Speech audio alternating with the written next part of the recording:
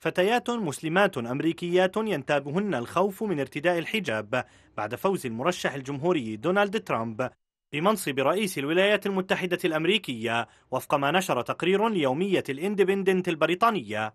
تحذيرات كثيرة ترد للفتيات المسلمات من ارتداء الحجاب في الأماكن العامة خوفا على سلامتهن الجسدية حيث أن دونالد ترامب كان ينتقد الأقليات وخصوصا المسلمين أثناء حملته الانتخابية. حيث دعا لمنع دخول المسلمين إلى الولايات المتحدة الأمريكية وفي ذلك خطوة استباقية ضد الإرهاب.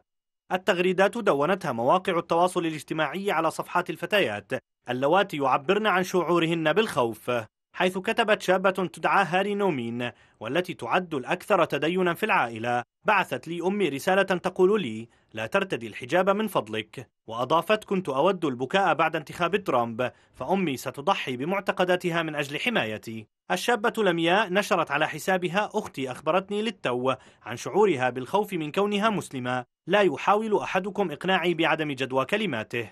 كما أضافت شابة أخرى تدعى حميرة أحمد إنها المرة الأولى التي تشعر فيها بالخوف باعتبار أنها شابة مسلمة تعيش في الولايات المتحدة الأمريكية.